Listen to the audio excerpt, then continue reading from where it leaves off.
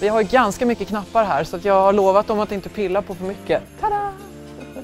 Jag tror att vi var som flest var vi nästan 300 personer involverade. Det var en helt otrolig apparat.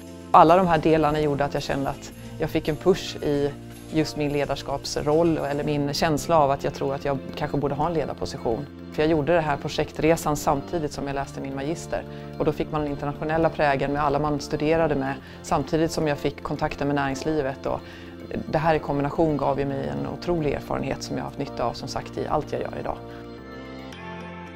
Mitt namn är Katrin Stighammar och jag har läst en kandidatexamen, internationella affärer heter den.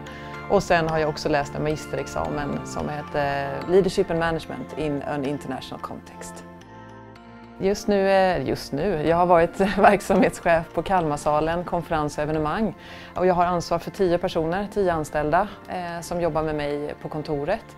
Och sen har vi också en stor del av värdar som kommer in och vi samarbetar med teknik, eh, konsulter och liknande så att det är en, en ganska stor apparat.